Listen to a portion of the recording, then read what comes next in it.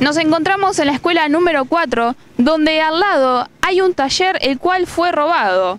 Según los vecinos, estos sujetos habrían pasado entre un espacio que está entre la escuela y el taller. Ahora ese espacio se encuentra techado por los mismos dueños.